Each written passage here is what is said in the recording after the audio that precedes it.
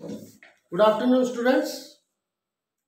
Today we have uh, selected one chapter from book 2 that is uh, The Open Window written by Saki.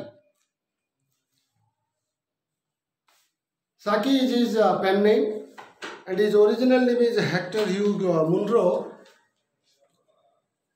and he is uh, a novelist, a story writer. Mostly his writings are on human behavior.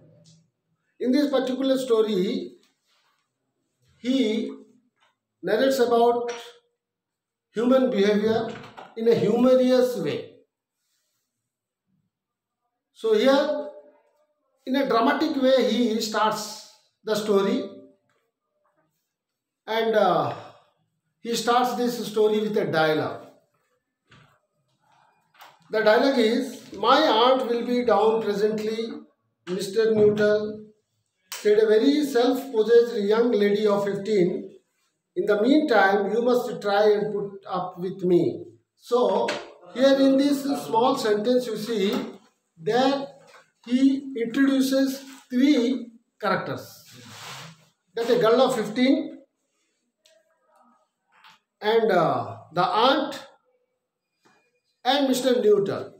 Here are three characters in the scene and he starts this uh, with uh, a dialogue, my aunt will be down presently. So from this uh, line itself it is understood that Mr. Newton had visited the aunt's uh, house to see her and there he meets uh, the uh, niece or the girl of 15 there the girl of 15 greets him and asks him to wait till the aunt comes and next paragraph you see here Framton Newton endeavored to say the correct something which should duly flatter the niece of the moment without unduly discounting the aunt that was to come. So here, this is the style of writing of Saki that he writes combining so many information into one. So he says here, endeavor means try. So he tried to adjust with the girl because because earlier the girl has asked him to adjust with him with her. Okay, so he tried himself because there was a generation gap, age gap. There was a great difference in age. The girl of girl was of uh, 15 and Mr. Newton was an elderly man. So it becomes very uh, uncomfortable to um, Mr. Newton to adjust with the girl in the absence of uh, the aunt. Okay, what to talk, how to talk, okay, then it becomes very difficult for Mr. Newton, but he tried his level best to adjust with the girl. Privately, he doubted more than ever whether these formal visits on a succession of a total strangers would do much towards helping the nerve cure which he was supposed to be undergoing. So, again he was doubting whether such visits should be helpful, could be helpful to go there to such a strange place to meet with uh, strange people to get his uh, ailment, illness to be cured. Okay, that means from this uh, it is informed or it is understood that the narrator, okay, or Mr. Newton was undergoing some illness that is of a nervous problem. So with this nervous problem, he had gone there to get some solution, some cure to that. Okay, so whether it was quite right or wrong, he could not understand. Okay, he was doubtful. Now, I know how it will be. So he remembers, he recalls some incidents of the past that I know how it will be. His sister had said him said when he was preparing to migrate, migrate means go to his uh, to this uh, rural retreat. You will bury yourself down there and not speak to a living soul. and your nerves will be worse than ever from moping. So this is a caution. This is a caution. This is a, a cautioning word or he want his brother, okay, to go there to such a place when he was getting ready to go there. Yes, so there he thinks whether that was uh, right to come there or he was wrong. Okay, but what she had want that uh, you will bury yourself. That means you will put yourself in trouble. Okay, and not speak to a living soul. So there in the retreat, there in the village, he would not find any such uh, living people. That means uh, sensible people. Okay, and there, how he would feel? He would feel that his illness, his ailment was getting worse. Okay, that means in what condition he had come there, he will feel worse. Okay, so his conditions will be more uh, critical. Okay, so this is a warning. This is a warning from his sister, but still she found some solution of this. Uh, what? I shall just give you letters of introduction to all the people I know there. Some of them, as far as I can remember, were quite nice. So he says, sorry, he thinks that his sister was so conscientious and she had given him some names and addresses, okay, of such people of that village who were very nice, very sensible all were not uh, insensitive. Okay, some of them were sensible, sensitive. So, she had given him a list of names and suggested him to go and meet those people, particularly those people, so that he would feel comfortable. Okay, so he was thinking that uh, on the recommendation of his sister, he had come there when he decided to come that place. So but he could not assure that whether that was the right decision or a wrong one. Framton wondered whether Mrs. Sappleton, the lady to whom he was presenting one of the letters of introduction, came into the nice division and he was just uh, waiting for the lady to come down. Okay, for whom she, he had come there. Okay, and he was eagerly waiting. So, in this uh, situation, there was no discussion. The girl was sitting in front of him and Framton was also calm. He was just thinking, thinking and thinking. So there was a silence. Okay, there was a silence and the niece, the girl of 15 was very much, uh, uh, what you can say, um, curious to talk to that man and uh, she could not help her talking the man, do you know many of the people around here? Asked the niece when she judged that they had had sufficient silent communion. So, when that silence was unbearable to the girl, she asked, okay, asked to Framton that do you know many of the people around here? So, to continue the conversation or to start uh, the conversation, she asked, asked a casual question whether he had any idea about any people there. So, Framton said, hardly a soul, hardly a soul. So, hardly, hardly means not or no. Okay, hardly a soul, that means no soul. No person he had known to. So, hardly a soul. And again he said, my sister was staying here at the rectory, you know, some four years ago. And she gave me letters of introduction to some of the people here. Okay, so hardly he had any idea about any person, but according to, with the help of uh, his sister, he had come there with some names and addresses. Okay, so that was the only knowledge, that was the only information he had from his sister. Okay, and that was in a regretting manner. Okay, he said regretfully that he had no idea about any people. So he made the last statement in a tone of distinct regret. So it was regrettable to say that he had no idea about any person where he had come. Okay. So it was quite disgusting without knowing any person, okay, about any person, how one can go to that place. Then you know practically nothing about my aunt.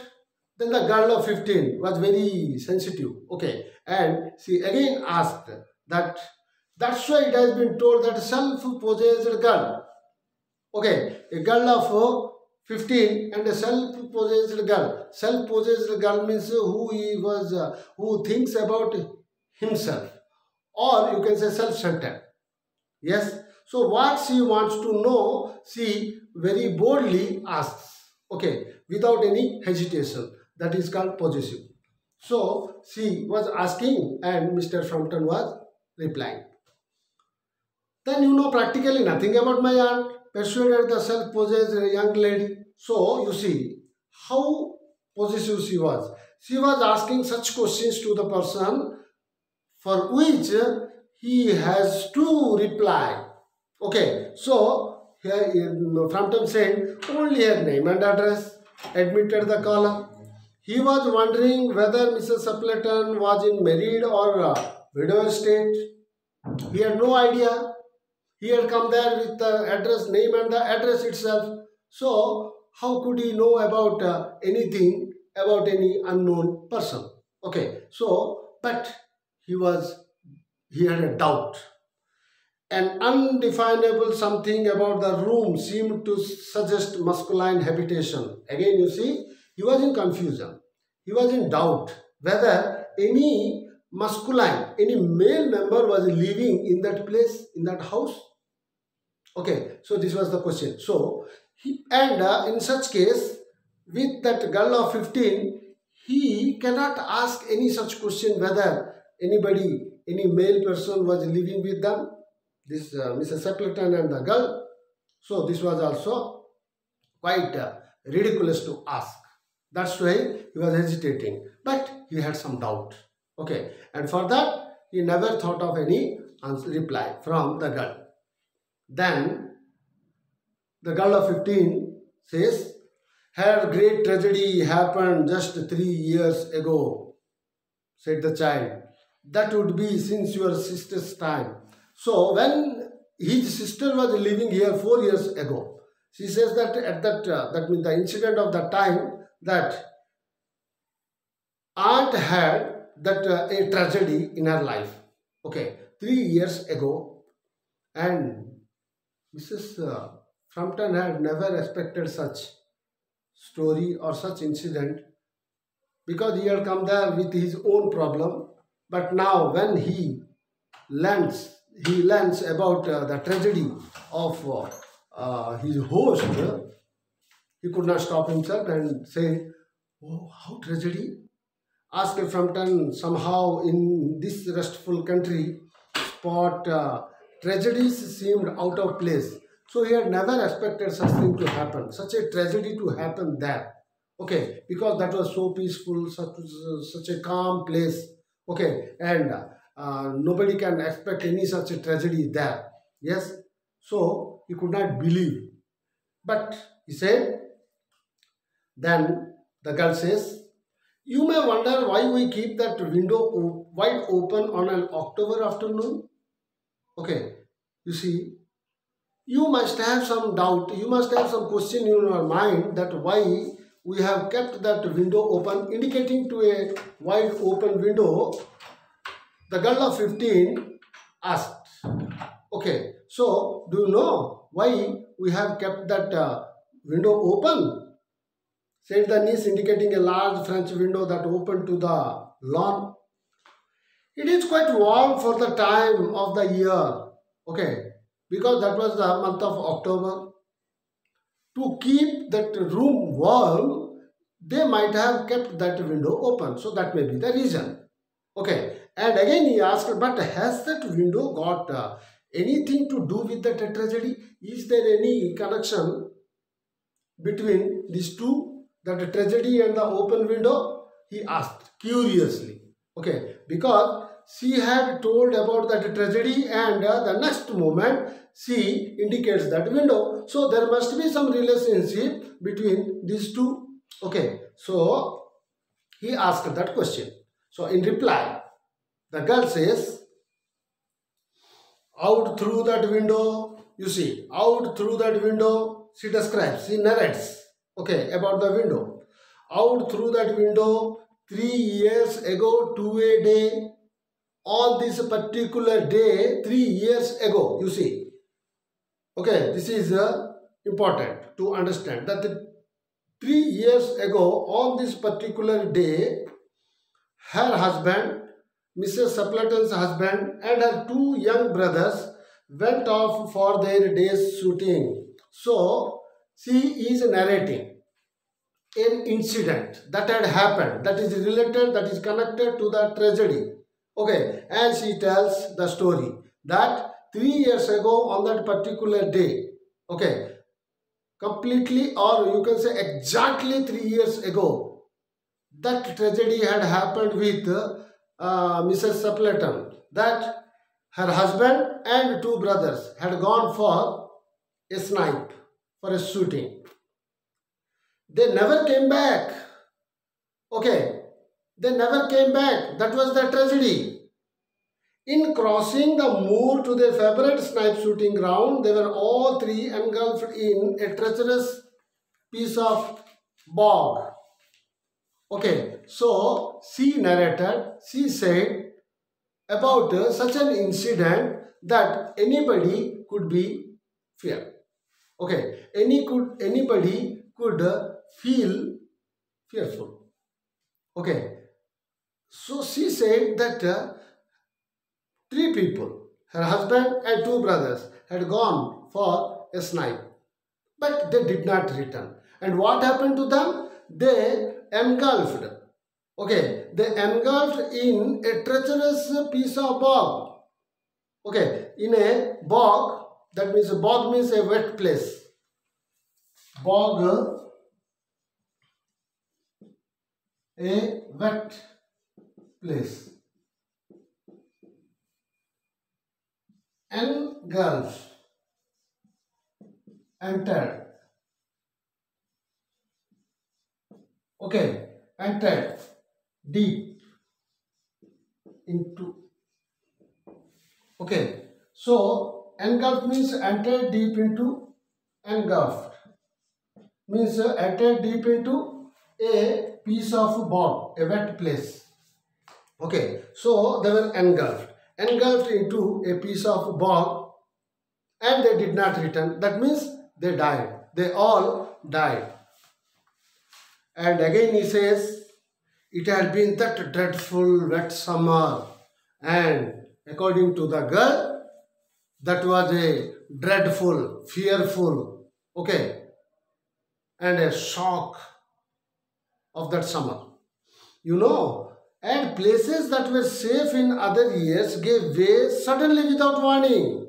And nobody can understand what will happen when what will happen. Okay, so nobody can say it is quite unpredictable. It is quite unpredictable that what will happen when. Okay, nobody can say. So she is telling that any day anything may happen with anybody. Yes, and it is uh, quite unpredictable. Their bodies were never recovered. Okay, and their bodies were never found. That was the dreadful part of it. Okay, and that was the dreadful part of it that uh, their bodies bodies were not recovered. Their bodies could not be recovered. This was this was another part of tragedy. Now, as she was telling this, okay, so dreadful story about the loss. Here the child's voice lost its self-possessed note and becoming fluttering human. So now it seemed that she was thinking about somebody.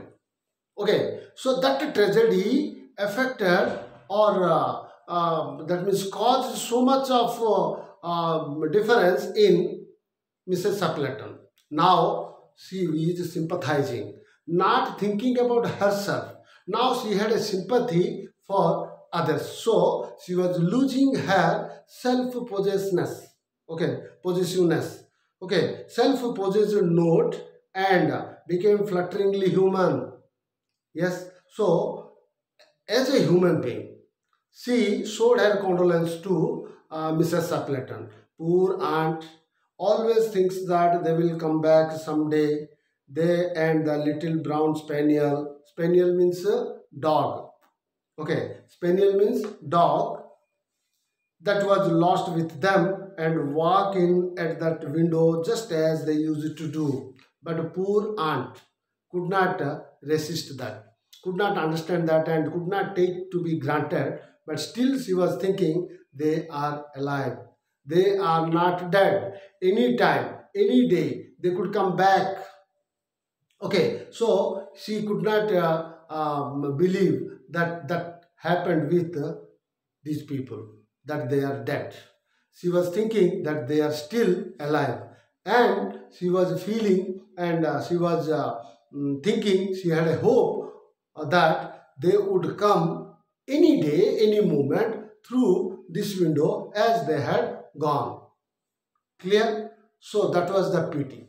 That was the sympathy for uh, Mrs. Sappleton because she had gone mad. She could not uh, believe or she could not accept the reality that her uh, husband and two brothers would not come back again. Okay, anymore.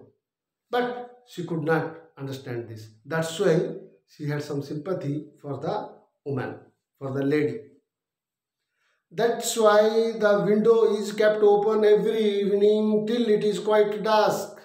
So that is the reason behind opening the, sorry, keeping that uh, window open.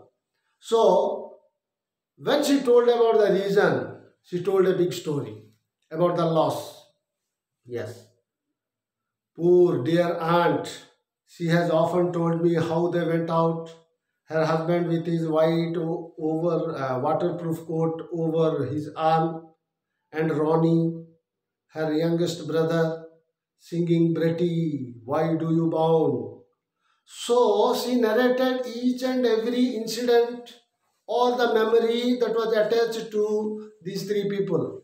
So often aunt Mrs. Sappleton was uh, uh, describing or uh, remembering such incident that how they had gone and when they had gone, what they had worn, okay, and how they behaved, how they sang, how cheerful they were when they had gone. So everything she was talking and she was discussing very often, okay, and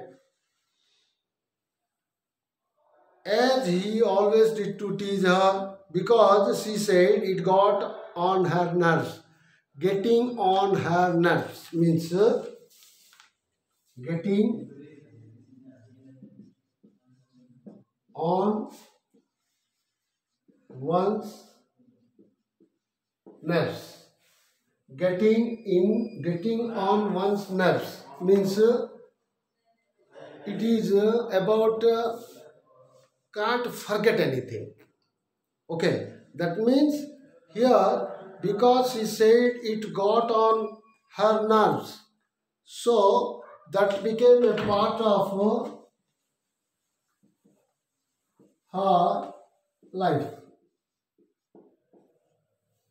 Okay, or you can say she was moved.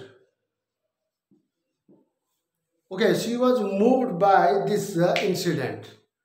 Okay, that means she could not believe other things than this that they were still alive. Yes. Do you know something on still? Still means quiet. Quiet evenings like this. I almost get a creepy feeling that they will all walk in through that window. And another another thing she is narrating to Mrs. Supplet, um, uh, sorry, Mr. Newton that sometimes such feelings were felt that somebody was walking through that window in creepy, in creepy movements, creepy feelings. That means somebody was walking and footsteps were heard. And this was the feeling. When nobody was there, still the footsteps were heard, then that is a creepy feeling. Okay, so it was felt often.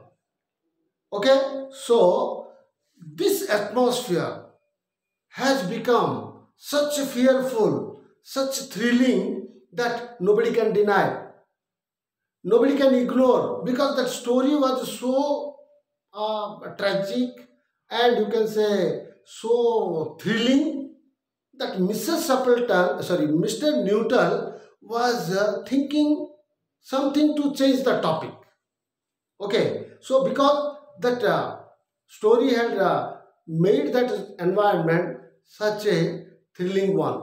Okay, so she broke off with a little shudder. She broke off with a little shudder. It was a relief to Framton when the aunt bustled into the room with a will of apologies for being late in making her appearance.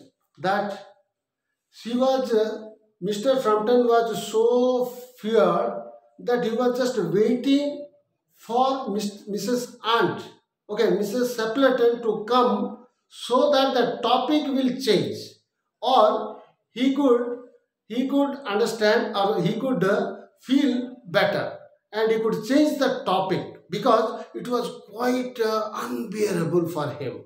Okay, that's why she broke off with a little shudder.